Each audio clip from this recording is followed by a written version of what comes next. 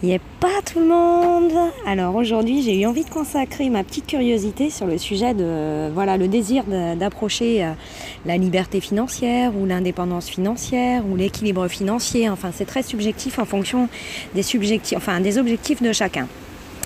Mais euh, voilà, je m'alerte un peu parce que je vois euh, beaucoup de blogs, je vois beaucoup de choses autour euh, bah, des gens en fait qui se disent être millionnaires, voilà, et qui proposent à tout le monde de devenir millionnaire. Alors, est-ce un simple partage que je dirais collaboratif? Ils ont réussi et ils sont prêts à en faire profiter tout le monde. Donc, dans ce cas de figure, c'est un avantage et une opportunité qui est, est superbe. Par contre, moi, j'ai quand même une interrogation au regard de tout ça, c'est que euh, voilà, c'est génial, mais euh, on vit quand même dans un monde où le business est vraiment très très ancré. Ça, c'est le risque majeur, le risque de l'appétence business, de gagner de l'argent. Et euh, il y a beaucoup de cas de figure où on pourrait croire que si le millionnaire est vraiment millionnaire, comme il le dit, en définitive, euh, il a plus qu'à vivre et s'asseoir sur ses lauriers, donc il pourrait se suffire de tout ça. Donc quel est l'intérêt de diffuser, si ce n'est un partage euh, collaboratif et collectif? Bon, peut-être, ce serait une opportunité, mais euh, moi, voilà, je vous engage à faire attention, voilà, et déguiser votre curiosité quand vous achetez des programmes, quand vous achetez, voilà, des formations dispensées par des gens qui vous aident à devenir également millionnaire. Je pense qu'il faut garder les pieds sur terre, faut être rationnel. Et euh, voilà, si vous avez également le souhait de devenir millionnaire, ben, peut-être qu'avant vous avez juste le souhait d'améliorer votre condition de vie et que pour vous l'argent est important, donc il ne faut pas euh, le dépenser n'importe comment. Donc voilà, faites attention, mesurez le risque, il est partout.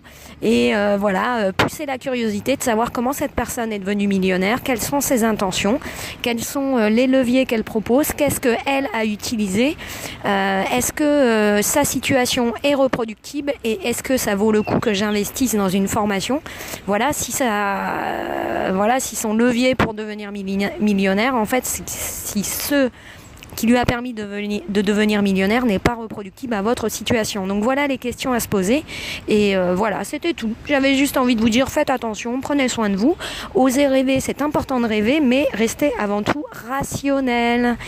Voilà, il y a de super bonnes personnes. Et si vous, vous avez un blog et que vous avez euh, des informations à nous dispenser et que vraiment euh, vous êtes sûr de vous, que pour vous le risque il est mineur et que l'opportunité est majeure et que vraiment ça peut aider bien des gens, bah forcément on reste très curieux, donc n'hésitez pas à nous partager votre expérience. Mais voilà, moi je mets en garde un petit peu euh, vous tous euh, qui écoutez euh, ces castes. Moi personnellement, j'ai pas la science infuse. Malheureusement, je suis pas parfaite. J'aimerais bien l'être. J'essaie de m'améliorer. Je fais comme je peux avec les moyens dont j'ai à disposition. Mais voilà, je pense qu'Internet est un formidable outil pour peut-être pas devenir millionnaire, mais au moins s'enrichir. Et si ce n'est de s'enrichir dans le cœur, moi je trouve ça c'est déjà pas mal. Allez, je vous dis pas. À bientôt. Prenez soin de vous. Attention aux arnaques. Attention aux, aux escroqueries. Puis faites attention voilà, à tout ce qui est risque de blanchiment, fraude, terrorisme, ou euh, éventuellement, effectivement, vous pourriez perdre euh, bah, tout votre argent. Donc faites attention à tout ça. Voilà, soyez consommateurs responsables et avisés. Je vous dis à bientôt. Yé pas, je vous adore. Prenez soin de vous. Yé pas.